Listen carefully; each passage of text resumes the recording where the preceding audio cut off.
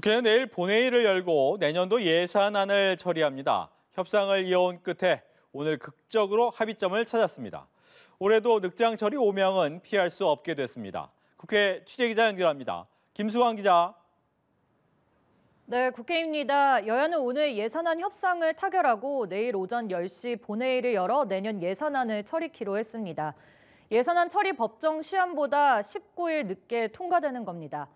여야는 협상 과정에서 정부 안에서 4조 2천억 원을 감액하고 같은 규모로 다른 항목에서 증액해 전체 예산안 규모는 정부 안인 657조 원입니다. 여야 이견이 컸던 연구개발 예산은 6천억 원을 늘리기로 했고 새만금 관련 예산은 3천억 원, 지역사랑 상품권 발행 예산 3천억 원을 반영하기로 했습니다. 여야가 극적으로 예산안은 합의했지만 연말 정국은 여전히 지뢰밭입니다. 민주당은 오는 28일로 잡혀 있는 본회의에서 김건희 여사 주가 조작 연루 의혹과 대장동 50억 클럽 관련 의혹을 다루는 쌍특검법 처리를 예고했는데 국민의힘은 극력 반대하고 있습니다. 여야 사항도 알아보겠습니다. 국민의힘은 비대위원장 의견 수렴에 사실상 의견 수렴 절차가 끝났다고요? 네, 국민의힘 윤재욱 당대표 권한대행은 오늘 상임 고문단과 만났습니다. 비대위원장으로 한동훈 법무부 장관이 유력하게 거론되는 가운데 당 원로들의 생각을 듣는다는 취지인데요. 한 장관의 부족한 정치 경험, 또 정계 진출 시점을 두고 우려하는 목소리도 나왔지만 당 원로들은 대부분 한 장관 추대론에 중지를 모은 것으로 전해졌습니다. 오찬을 마친 윤재혁 권한대행은 오늘로써 사실상 의견 수렴을 마무리하고자 한다며 이제 숙고의 과정을 통해 판단을 내리겠다고 밝혔습니다.